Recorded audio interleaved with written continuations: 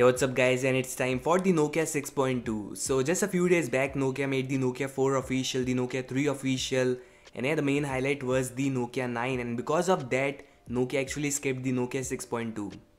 Yes guys in this video let's talk about all the exciting news about the Nokia 6 2019. Alright so first off it is coming with a 6.2 inches full HD plus panel and Nokia 6.2 with 6.2 sounds interesting it's just like that.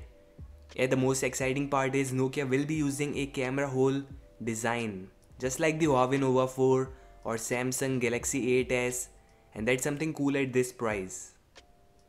You guys know Nokia phones are durable, so I'm literally excited at this point to see how this thing works, how they are going to make it more strong. Okay, so rear design also looks great. We have glass panel with dual Zeiss optics of 16 plus 5 megapixel so along with the best design, you're also getting amazing cameras. Really waiting to see this phone. Right there is the rear facing fingerprint sensor.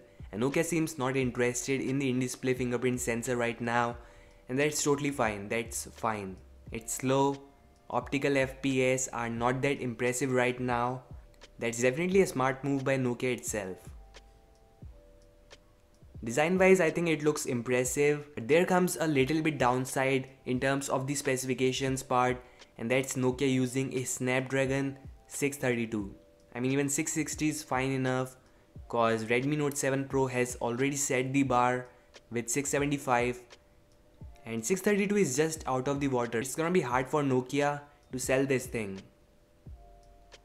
And apart from that, there's 6 slash 4 gigs of RAM, 128 slash 64 gigs of internal storage, which can be expanded. There's a 3500 mAh battery, and that's average, cause it's not so huge, not so bad at all.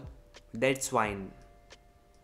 And then there's a pure stock Android Pie with 3 years of security patches and 2 years of major software. And that's the best thing in any Nokia phone right now. So if you just ignore the SoC, it's a complete decent package, best design in a phone plus stock Android, the Nokia 6.2 is for you. And if you ask me, I think a great phone but lacks some power. And 660 can make it the best phone right now. So that's all guys, thanks for watching this video, I hope you enjoyed it. And do let me know your thoughts in the below comment section about this. Don't forget to like, subscribe